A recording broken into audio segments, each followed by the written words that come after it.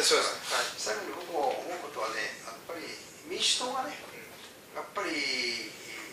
民主党らしさをねどうしちゃったのってよく言われるじゃないですか、はい、その民主党らしさをねこの際やっぱりきちっとね盛り返さないといけないんですよ、それは何かっていうとやっぱり生活が第一そうです、ね、これ大きいんですよ、はい、生活が第一、はい、生活が第一であればね、生活を犯されてるものは何やっぱり経済デフレでしょ、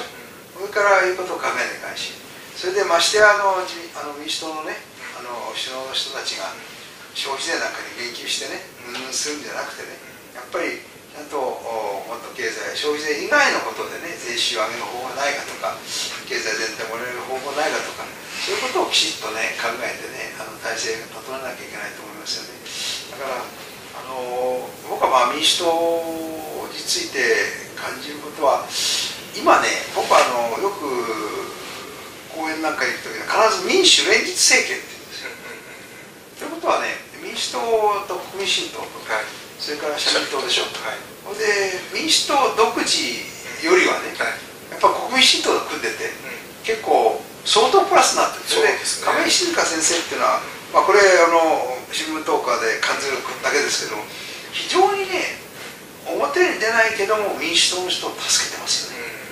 うん、それから社民党もねやっぱり一緒ってことは悪くないと思うんですよ。やっぱりね。あのやっぱり価値観があの、まあ、若干違うと言ってもそんなになんて言うんでしょうか。旧共産党のような考えじゃないんでね。ちゃんとやっぱり国民の一つの組合っていうものをベースにした考えでしょ。これはやっぱり生活が第一の考えがありますからね。だからそういう意味では今の連立政権っていうのはね単独よりも僕はいいと思ってますよ、そしてその中でねこれからもう少しあの民主党がねあの民主党らしさって何だ？ろうってことをもう一度考えてねそこにウェイトを置いたらいいと思うんですよね。だから僕は一つ民主党政権に進めたいことはやっぱりあの少なくとも10兆か20兆ぐらいのね補正予算組んだらどうかと思いますよ。そしてそういうねさっきから申し上げているようなそのもう公共投資といったって老朽化が進んでるそういうのあるでしょ。そういうのをもっとあの立て直す。橋ですねさっきおったあるいは下水浄水そうそうそう。これも全部老朽化してて道路が陥没し始めてます、それからあの危険ですよ、朝の通勤でもねすごいじゃないですか、はい、これ野口幸雄さんがね、はい。まあ、都市部のね、はい、通勤にもって金使えって書いてるんですよ、だから僕はもういつもな京王線の沿線に住んでますけどね。のろのろのろの朝ね今朝も10分ぐらい遅れてたけどこんなの複々線にしてねしかもバーッと走られちゃったらいいしね金いくらでもあるんですよ僕はまあ一番使ってほしいのはやっぱり少子化対策なんですよね、うん、もうばらまきって言われてるの何と言われてもいいから今のやっぱり女性たちに産んでいただかないと次の世代いないですからもうだんだんと傾斜的にあのそういう若い人で子供を見たいと思ってる世帯に傾斜的にお金つぎ込んだらいいと。それは私も賛成。ただね、ただいろいろ統計とかなんかありますと、はい、経済の停滞がしてくると成長率が落ちるとねやっぱり子供少なくなる。そうそれでね、それでね経済成長があ戻ってくる、社会が安定してくると子供は自然として増えてくる。だから一番いいのはあのフランスなんですよ、はい、フランスはね少子化対策やってやったっていうけどもその前にねかってあのドゴールが出てくる前混乱したじゃないですか、はい、それからドゴールが出てきてから社会の安定のためにいろいろ手を尽くしたそれからって言ってそれと少子化対策。だからね少子化対策だけではね。まあまだまだあの十分じゃないなと。だからあのまあ宍戸俊太郎さんっていうのはね経済モデルを作ってらっしゃるんですよ。この方のモデルの中には人口が入って経済が成長するとか？なり宍戸俊太郎先生というね、はいはい、ご存知かと思いますが、はい、あの前あの経済学長の審議会やられて筑波大学の副学長をやられた方いらっしゃるんですよ。それで今は日米モデル研究というのの会長をやられて今でももうご活躍ですよ。大変にあのもう85ぐらいの方が、大変元気でね、あの頭シャープでいつも私おそらく教えてもらってるんだけど、この方なんかはね本当にそのモデルではっきりおっしゃって人口をね増やすためには経済成長だ。からなんかそういうこともね考えてあのまあ私は経済が専門家だから特に思うのかもしれませんけどもやっぱり今この日本のね苦境を救うためのね結論から言うとね税収が上がる経済を作ろうですよ税収ってのは何かって経済力の結果なんですよ。それにはね金積み込んで経済を成長させるだけじゃなくて社会的な安定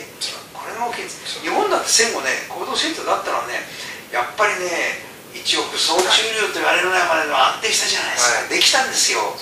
できた。その結果ねやっぱり経済がねこんなに成長したんですからね、忘れちゃいけないなというのが私の、まあ、考えですから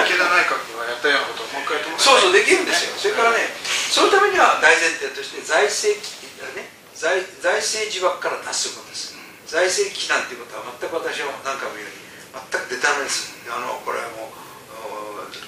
デタラメのプロパガンダであってまあね私は前前からそう申し上げてるし今でも財政危機じゃないと思います。ちゃんと金がある単純なんです考え方は。日本国民のお金をね日本のために使おうと。そうすればよそれから海外250億貸してんだからどうするの？帰ってこないじゃんね。帰ってこないからダメだって言います。とにかく日本がちゃんとした経済制裁出してこうやればいいのよ。じゃあ国産を出すかと。そして経済成長の向こうは必ず帰ってきますよ金は。金返ってくる。その手段としてはね一番大事なことは日銀とちゃんとタイアップしてあの国債を出した時には日銀がお金をその市場へ出してくれると。だから日銀とうまくタイアップする先ほど山口さんが日銀総裁とどんな話をされましたっていうのは、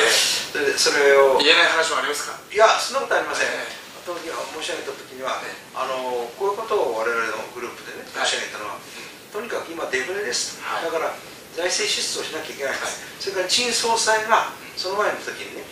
その金融だけではデフレはそう解消できない、だからあの有効需要をね喚起するようなことは政府にやってくださいとそれで金融だけをね緩めてもあんまり意味がありませんと。そのおっしゃった。それは私は賛成なんです。どうしてかというと金融だけ緩めて財政し落として失敗したらポイズン行動会さっきのような話になってしまう。そうそうそう。ダブルついたマネーがつけた。そうそう。結構そう。だから今そういうこと言ってる人はねそれの再来だけであって意味がない。だけども財政をね今度新しく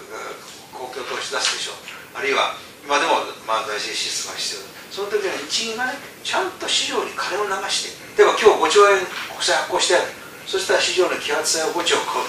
チャンなんですよそういうことをしてください。でアメリカ大恐慌の時にはねそれを1933年から実に1947年までずっと継続した。で短期は0.375長期は2.75でずっと実はねもうなんとね14年間続いたんですよ。戦争があると言ったんで、できないことないんですでこの話をねあの人総裁の時に申し上げました。総裁したそしたらそれに対して、まあ、総裁としてはねやっぱりあの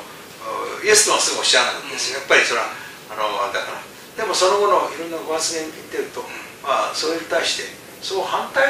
のことはおっしゃってない。それから今民主党の菅さんとかねそういう首脳と新総裁が3か月ごとに会談しようと言ってるのそれはやっぱり、えー、菅総理もねそういうお考えを伝えられたんじゃないですかそれから韓国総理に2月20日にお話した時もその話は申し上げました、うん。タイアップが必要なんが。一番いいのはその大恐慌のね教訓教訓なんですよ。これはねあの非常にベースなんじゃないかと思いますから。まあそんなことを考えていけばね日本はねもうそんな暗い国じゃないんです。だからもう本当に私はまあこれを聞いていただいてる方がいらっしゃるんで嬉しいんですけど、はい、